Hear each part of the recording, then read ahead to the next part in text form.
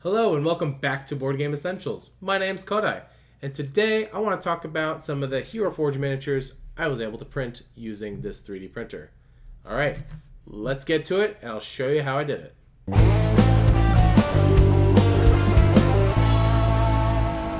So here we have a view of Simplify 3D and let me walk you through how I made this model printable for the Hero Forge Explorer model. So I just imported it and there you go. It dropped right on my print bed. And zooming in, you can see some of the details. Great. So these are unprintable details, the stuff that's overhanging. And if we don't generate support, then the model is just going to print over thin air and it's not going to look good. So what we're going to do is we're going to come over here to customize support structures. And we're going to click that and then we can click generate automatic supports to get an idea of how it will look in the beginning. So if you click that and you click done for right now, you'll see that it's generated supports on all the overhangs that thought it was necessary. And this is a great start in my opinion, but there are some areas that still need our attention. In detail, let's see, this sword can probably use some more. And this wand slash torch is going to need some as well. So, and I'll show you what I mean. I'll click prepare to print at the moment. And you can see that if you look at the feature types that these gray thing, these gray pillars are the support materials that's going to be generated. And they're really easy to break apart once they're printed. You just kind of squish them together either with your fingers or with a pair of pliers. So let me get a top-down view and let me zoom in. And using the slider over here, we can see where the extruder is moving on the 3D printer. And you can see it's building up layer by layer. And we can look at our model come to life using uh, this slider bar. We can take a look at this book over here.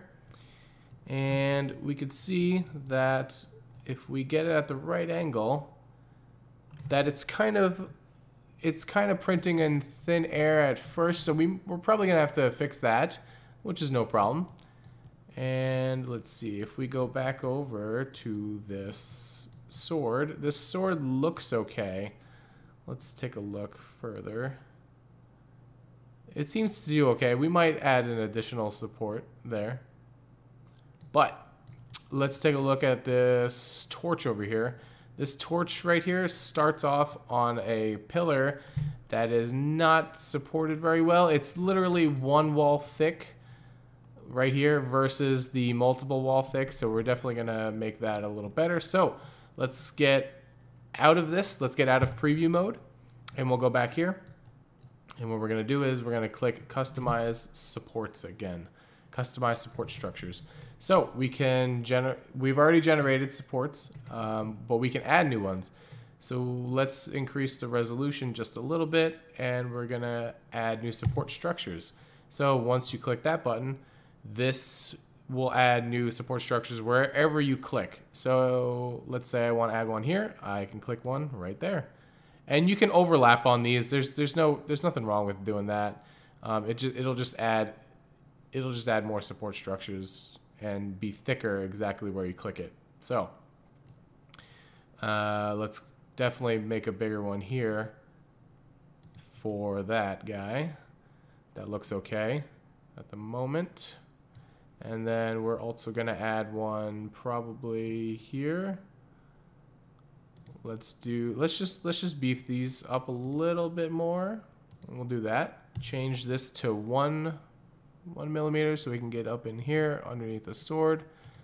Uh, that might need, that definitely probably needs some, uh, the, the most the most amount of help. See, if you mess up, you can always click remove existing supports and just click wherever you want to remove it and it will. It's pretty easy to use. You just got to tell it where you want it.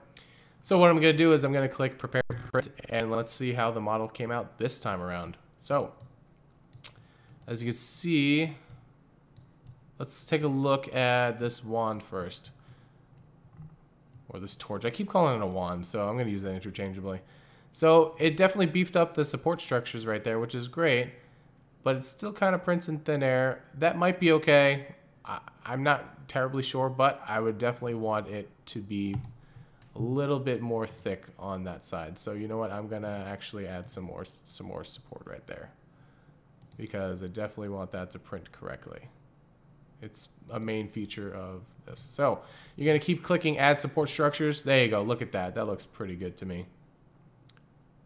See, it's it, it made that that little support right there. That should be that should be pretty good in my opinion. Yeah, that should be pretty good. Uh, let's go back to this book. That book looks fine to me.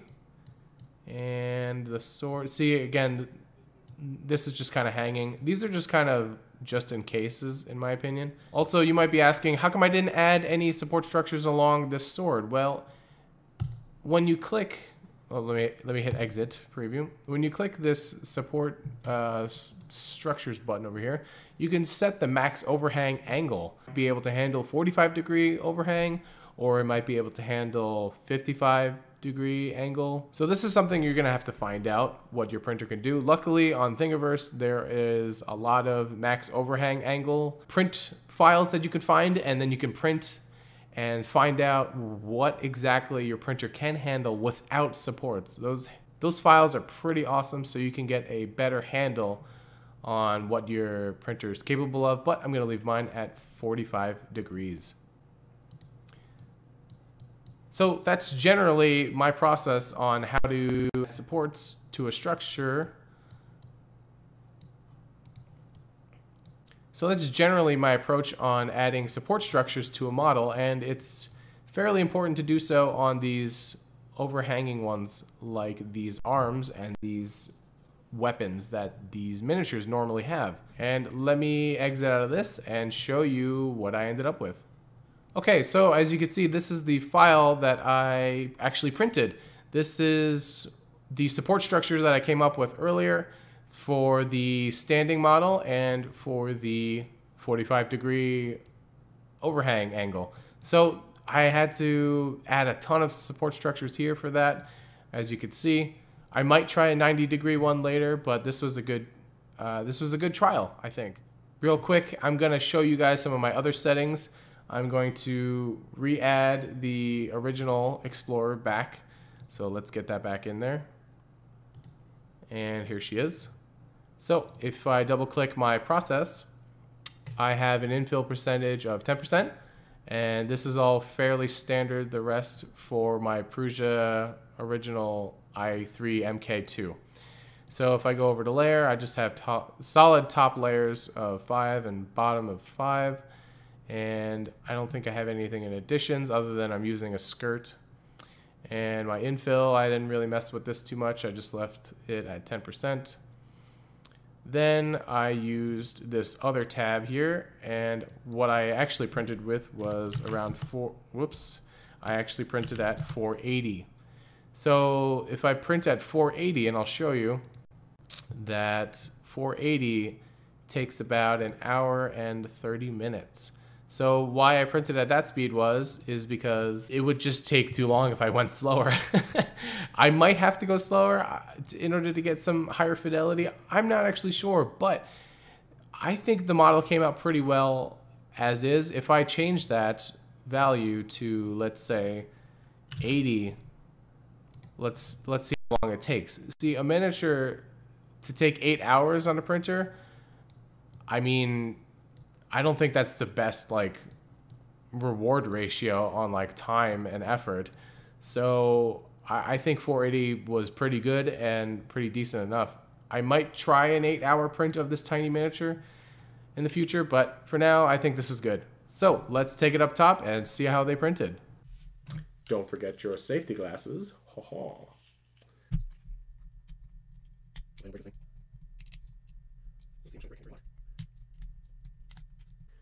Okay, so what I found on this first model, the one that I printed upright, is that the supports did well, and that's always good.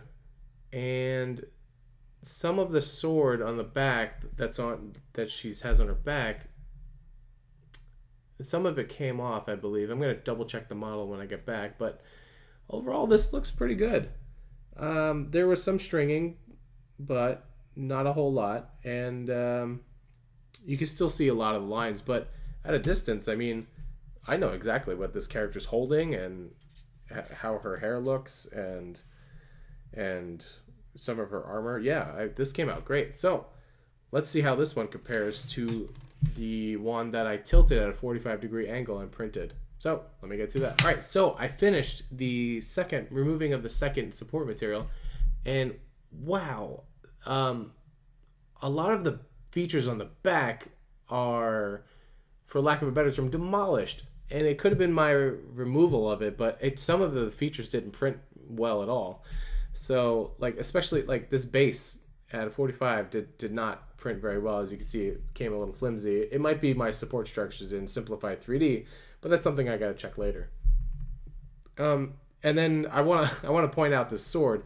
The sword stayed attached, kind of, but it it curved inwards, and it it just looks really funny to me. Um, the front details, if I compare them to the the previous one, I, I don't know if I see a, a big, big difference.